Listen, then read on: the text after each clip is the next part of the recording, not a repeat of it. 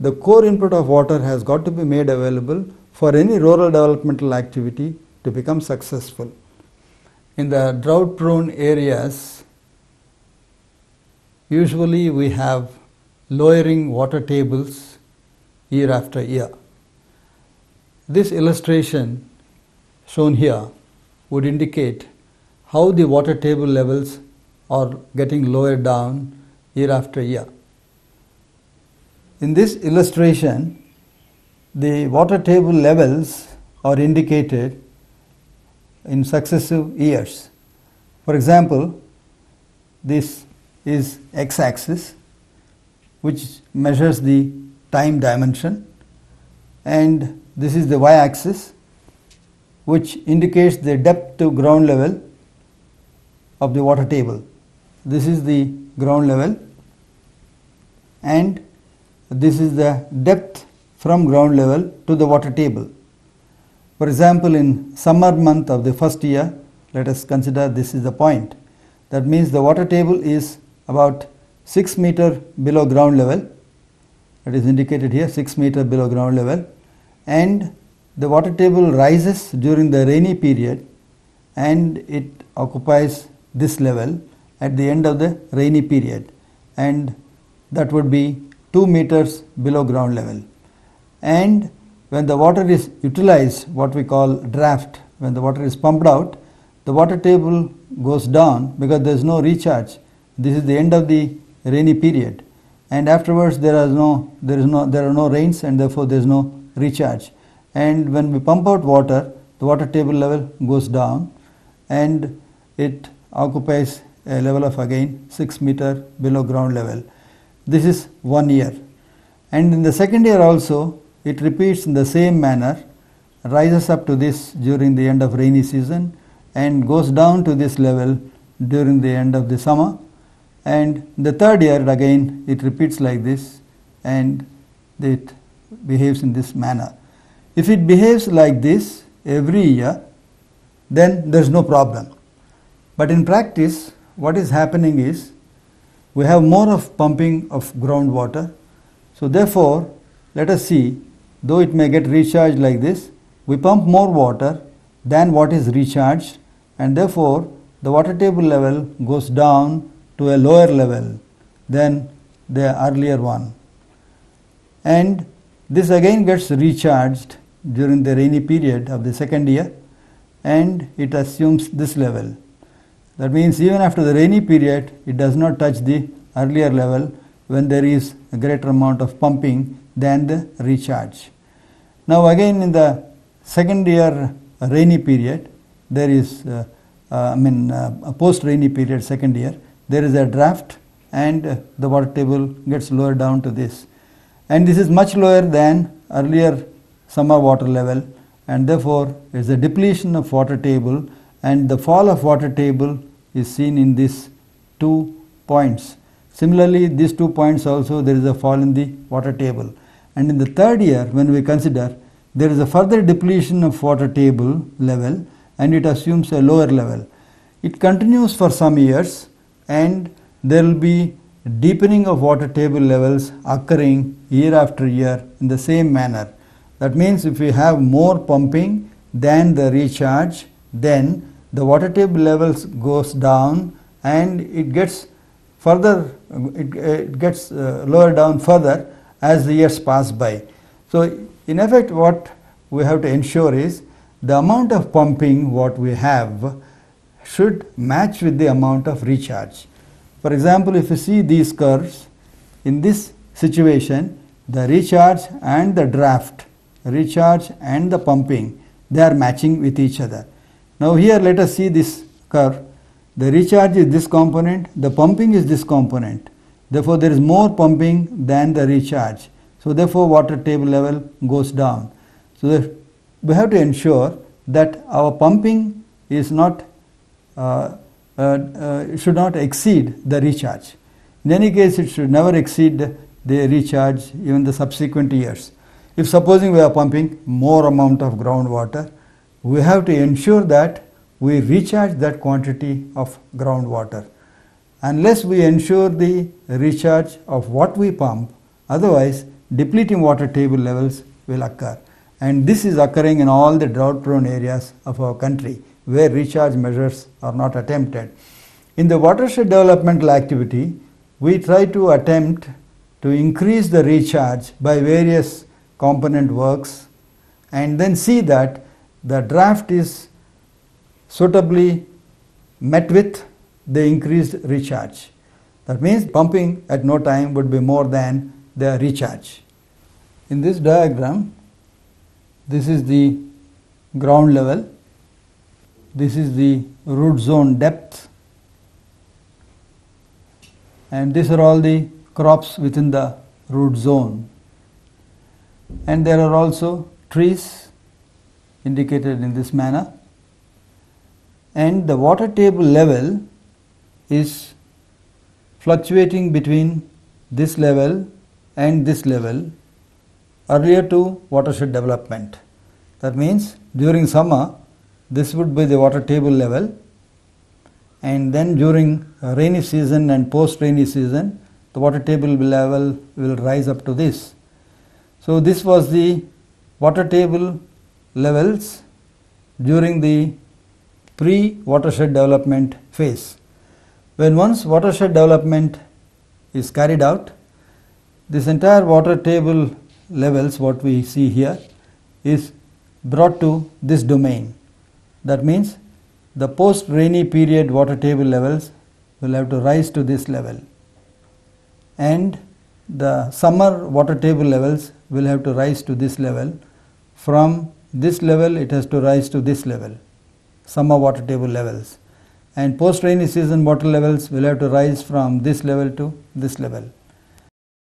The water table in the rainy season would be something like 2 to 3 millimeters below ground level.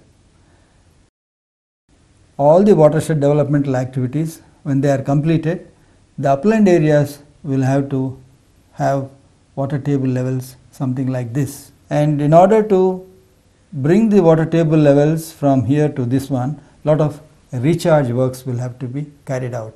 And when once we carry out these recharge works, this is the result that has to come up in the upland areas of the watershed. Let us now see how these water table levels can be brought from here to this level in all the watershed upland areas. To understand that, we will go to the next sketch.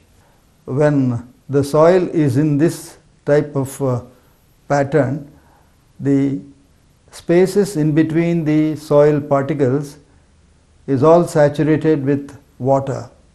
And this is the water table condition. In this case, the entire space is not saturated with water, but we have water as well as air pockets whereas in the other one last case there is no moisture at all in the space between the soil particles. It is all air. And this we are calling it as permanent wilt point. And this we are calling it as field capacity of holding the moisture within the soil. This we are calling it as saturated soil condition. That is the water table and below the water table the soil will be in this type. Above the water table the soil, water and air would be of this type and when it is very dry the soil above water table will be of this type. Now let us discuss this aspect of soil moisture storage in a greater detail. Now, in this condition, we said the moisture is held under capillary suspension within the soil particles.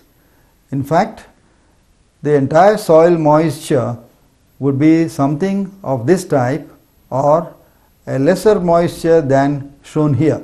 Actually, this type of soil moisture would be prevalent to a large extent during the rainy period. And when we say that the rainwater is held under capillary suspension, we mean that some portion of rainwater is held in the soil moisture domain and certain portion of rainwater goes down further and recharges the water table. And some portion of rainwater would result in runoff. That means it is overland flow, surface flow. Now we have got three types of flows out of the rains that occur in any land. One is the surface water flow, which we always call it as stream flow or flows in the lakes and things of uh, flows in streams and things like that. Now, the second type of moisture um, availability is in the soil domain. That is, some portion of rainwater is held under capillary suspension as soil moisture in the unsaturated zone above the water table level.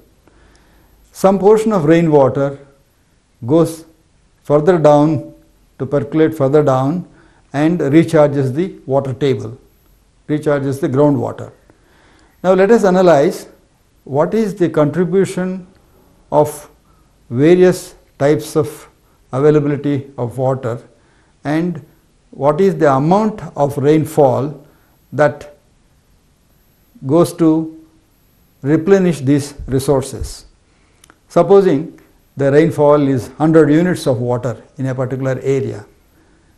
Out of these 100 units, in red soil area, it was studied in greater detail in Andhra Pradesh and it was found that nearly 20% of the rainfall on an average goes as surface water runoff and about 10% of rainfall goes as recharge to water table. The balance 70%, about 70%, is held under capillary suspension within the soil, what we call it as soil moisture. And entire soil moisture disappears over a period of year in the shape of evaporation. For example, the soil moisture within the root zone of the crop would be taken away by the evapotranspiration requirement of the crop that is there on the soil. And when there are no crops, some soil moisture is taken by the trees that are there on the land. And when there are no further evapotranspirative requirements, it is just evaporation. That evaporation of soil moisture is more prevalent during the non-rainy period, especially during the summer. So the bulk of the soil moisture, which is nearly 70% of the rainfall in a given red soil area, is going away as evapotranspiration or as just mere evaporation. And this evaporation is quite significant during the months February to May because that is the hot period in a year. And when this evaporation takes place, what is the net result? The soil will be rendered something like this. There won't be any moisture within the soil particles.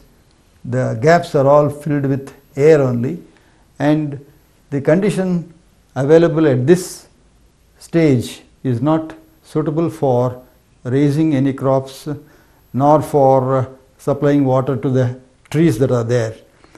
In case the trees have to survive, the tap root of the tree would go down to water table in search of water table and it survives by taking water from the groundwater.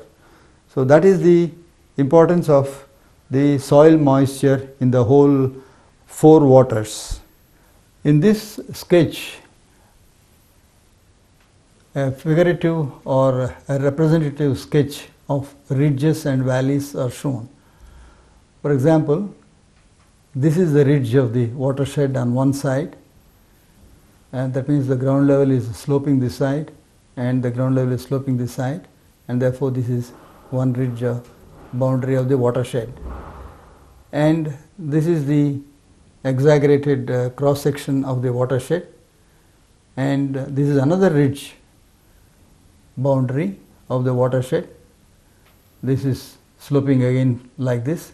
So therefore any rainfall occurring in between these two ridges, any rainfall occurring will find a way into the main stream. Any rainfall occurring on this side of the ridge will not find a way into this stream but it will go away to some other place. Now in this watershed, this is the upland area or the higher ground and we can call this as the lower area and this again as the upper area. All the recharge works will have to be done in this upper area.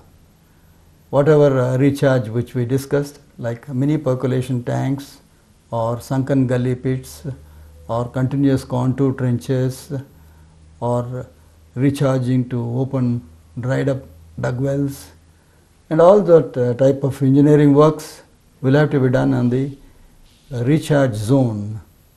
And when we do that in the recharge area the water table which was at a lower level earlier will get heaved up or levels will increase and this would be the revised water table level. That means the water table level will come up in this manner shown here. Here also the water table level in the upland areas also it was originally like this and when it is when it is like this before the watershed activities are taken up the water table level would come up like this due to various recharge works taken up in the upper areas. The same thing is shown in plan here. Supposing this is the stream and the flow of the stream is like this and this is the ridge line corresponding to this ridge and this is again the ridge line corresponding to this and this is a sort of a watershed and any rainfall occurring in this area will drain into this stream any rainfall occurring in this area will drain into this stream and the stream flows. So recharge works are all taken up here that is the recharge area. Similarly recharge works are taken up in this area and the discharge zone or the valley zone or the lower areas or these are the lower areas. So we generally don't take up any structured engineering works in the discharge prone areas because already the water table comes up to a, a very shallow depth and there is no need to take up recharge works in a discharge prone area. So all the works are concentrated in the upper areas.